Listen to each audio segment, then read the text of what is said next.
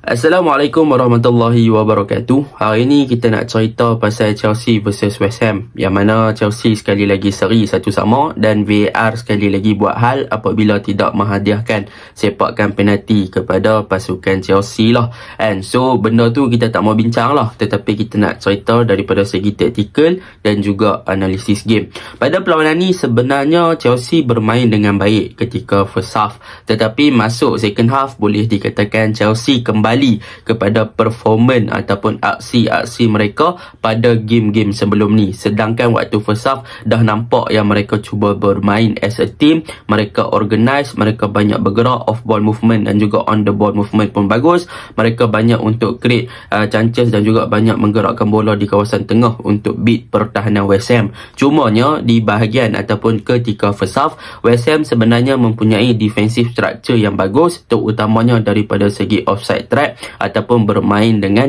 agak sedikit tinggi lah untuk memastikan yang pemain-pemain Chelsea yang berada di bahagian hadapan seperti Felix dan juga Havertz berada dalam kedudukan offside. Itu sebab kita tengok waktu first half ada beberapa gol dijaringkan oleh Felix dan juga dijaringkan oleh Havertz dibatalkan akibat kedua-dua player berada dalam offside dan banyak juga hantaran-hantaran yang dilakukan ketika situasi menyerang oleh pasukan Chelsea mereka terpaksa ataupun mereka terperangkap juga dalam offside yang dilakukan oleh pemain West Ham. Itu adalah beberapa faktor yang menyebabkan Chelsea tak boleh nak skor dan tak boleh nak menggerakkan pasukan mereka lebih masuk ke dalam di box sebab banyak positioning-positioning pemain-pemain pasukan Chelsea senang untuk diperangkap offside oleh pemain-pemain West Ham. So itu dalam first half lah tetapi masuk second half kita boleh nampak perubahan corak permainan pasukan Chelsea agak hambar dan boleh dikatakan mereka tak banyak create chances seperti first half dan mereka tak bermain seperti first half. Yang menyebabkan kita boleh dikatakan game di second half tak banyak pergerakan-pergerakan yang menarik ke arah gawang gol oleh pasukan Chelsea maupun oleh pasukan West Ham. Baiklah, secara mudahnya saya akan simpulkanlah. Untuk perkara pertama saya akan sembang pasal Chelsea. Apakah perkara yang positif side dalam taktikal Chelsea yang dilakukan pada perlawanan semalam. Yang pertama adalah tentang penggunaan back four pasukan Chelsea yang sebenarnya fleksibel. Kalau kita lihat dalam pembinaan ataupun dalam fasa build up yang digunakan oleh pasukan Chelsea, Chelsea akan membentuk back three di bahagian belakang iaitu Enzo akan drop lebih deeper untuk bersama dengan Bada, uh, dan juga Kukurela akan bermain lebih narrow untuk bertindak sebagai left centre back. Begitu juga dengan Rhys James, dia akan cover tempat Thiago Silva. Dan dalam fasa build up ni apa yang menarik Chelsea bermain dengan high line uh, iaitu mereka sampai di barisan ataupun di garis tengah kawasan padang lah untuk mereka progress the ball untuk menggerakkan bola lebih tinggi ataupun menggerakkan serangan untuk mereka atur mereka punya pergerakan untuk menyerang. Tetapi yang menariknya adalah tentang bagaimana mereka menggunakan Thiago Silva. Yang mana Thiago Silva dalam fasa build up beliau sebenarnya tidak banyak terlibat untuk bermain di high line sebaliknya Thiago Silva akan stay di bahagian agak bawah dia akan stay deep ataupun berada di belakang Badiashil yang dah naik terlalu tinggi untuk memastikan yang kawasan bahagian bawah tu ada connector ataupun untuk Chelsea open balik game ke belakang kalau sekiranya mereka tidak boleh nak menembusi blok ataupun semi blok yang dilakukan oleh pasukan West Ham. So that is a good thing tentang perancangan yang cuba dilakukan oleh Chelsea ketika fasa build up. Dan dalam pada masa yang sama di bahagian tengah juga Chelsea menggunakan Ruben uh, apa uh, RCL dan juga Enzo Fernandez untuk progress the ball daripada bahagian yang lebih deeper. Tetapi yang menarik tentang penggunaan dua player ni adalah kedua-dua player mempunyai typical gameplay yang sedikit berbeza. Yang mana Enzo adalah typical player yang suka supply bola dengan hantaran-hantaran jauh dan dia adalah player yang lebih berbahaya sekiranya berdekatan dengan kawasan di box ataupun kawasan kotak penalti. Sebagai contohnya pada perlawanan ini kita boleh lihat keseimbangan yang ditunjukkan oleh bahagian tengah pasukan Chelsea apabila RCL bergandingan dengan Enzo adalah mereka balance daripada segi in term of attacking dan juga in term of defending mereka agak balance dalam merencanakan serangan dan mereka selang-seli untuk siapa yang naik dan siapa yang cover up bahagian bawah. So sekiranya Enzo naik maka RCL akan turun lebih deep untuk cover tempat Enzo. Kalau RCL naik maka Enzo akan cover lebih deep di tempat RCL. So that is a good thing lah sebab apa?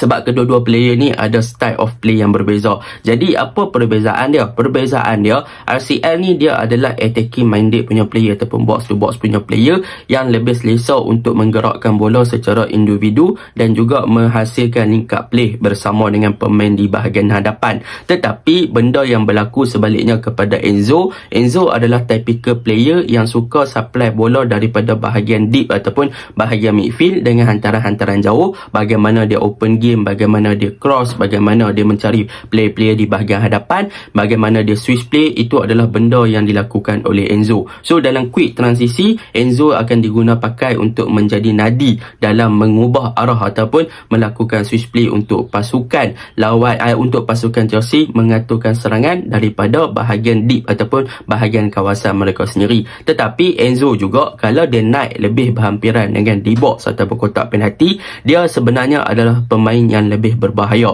Sebab apa? Sebab satu, dia ada ability untuk supply bola di dalam kawasan di box area untuk mencari bahagian hadapan dengan sangat baik lah. So, dia punya passing uh, accuracy pun tepat dan dia punya vision pun bagus. Sebagai contoh, dia assist kepada Felix apabila dia naik lebih tinggi untuk involve dengan gerakan serangan dan berhampiran dengan di box, Enzo boleh supply bola dengan hantaran-hantaran yang lebih menarik. Dan yang kedua, sekiranya Enzo bermain dengan lebih tinggi dan berhampiran dengan di box pasukan lawan, maka di sini Enzo juga ada ability ataupun kelebihan untuk melakukan percubaan dari luar kotak penalti. So that is a good thing lah tentang pasukan Chelsea apabila mereka meletakkan RCL dan juga Enzo yang kedua-duanya mempunyai ability yang berbeza tetapi daripada segi corak permainan mereka berdua boleh involve untuk menyerang dan mereka juga boleh involve dalam fasa build up ataupun dalam fasa bertahan. So dia memudahkan pergerakan-pergerakan Chelsea untuk menggerakkan bahagian tengah dengan lebih baik lah. So that is the number one lah untuk point number one. Number two, apa yang boleh saya cakapkan untuk pasukan Chelsea adalah mengenai Joe Felix.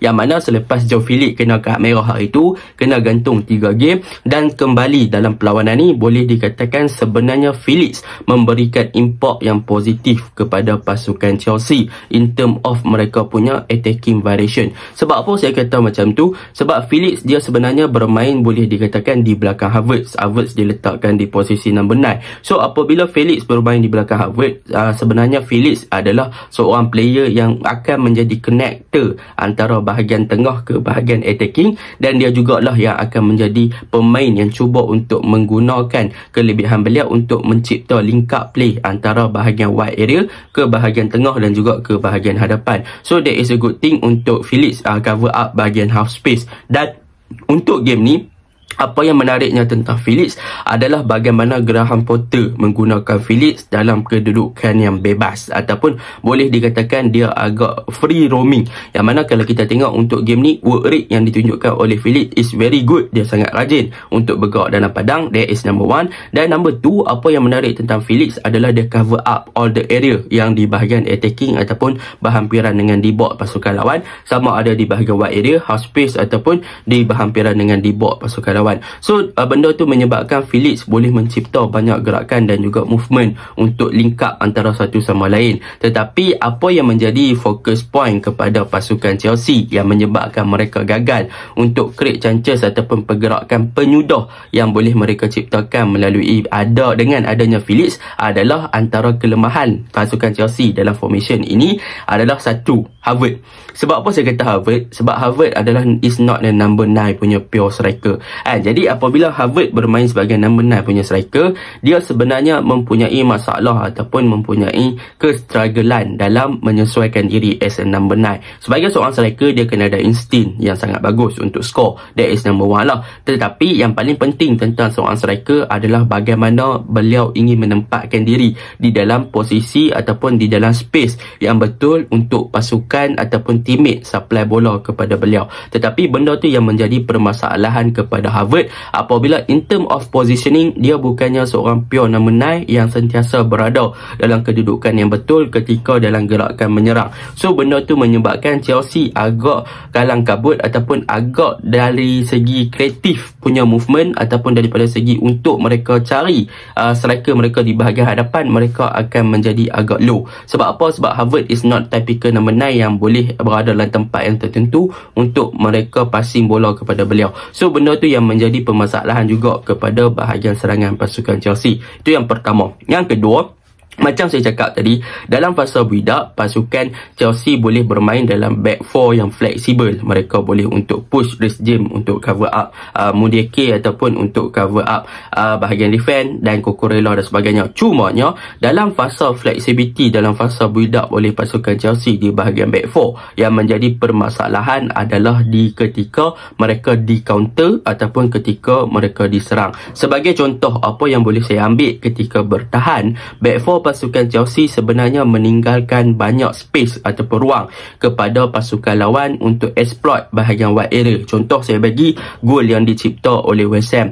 Yang mana untuk gol yang dicipta oleh West Ham, Cucurella yang bertindak sebagai left back, dia sebenarnya gagal untuk menutup ruang yang banyak kepada pemain West Ham tersebut yang boleh dikatakan Kofal mempunyai ruang yang banyak. Kofal sebenarnya waktu tu dia boleh push bola pergi hadapan lagi ataupun dia boleh saja cross. Tetapi disebabkan Cucurella tak mem memberi pressure maka di situ Kofal dah berada dalam kedudukan yang selesa. Kan jadi apabila Kukurela tak bagi pressure ada space yang banyak di kawasan uh, bahagian tersebut maka Kofal boleh crossing. Dan dalam pada masa yang sama di bahagian kanan Rhys James. Rhys James juga mempunyai tempat yang kosong exploit. Dia kena senang kena exploit yang menyebabkan tak ada orang yang jaga belah tu. Emerson boleh lari masuk ke dalam D-box macam tu saja untuk menyambut hantaran pada Kofal kepada Bowen Bowen kepada Emerson. So there is dalam transisi bertahan mereka sebenarnya meninggalkan gap yang banyak untuk pasukan lawan exploit bahagian wide area mereka dan dalam pada masa yang sama dalam transisi ataupun dalam fasa build up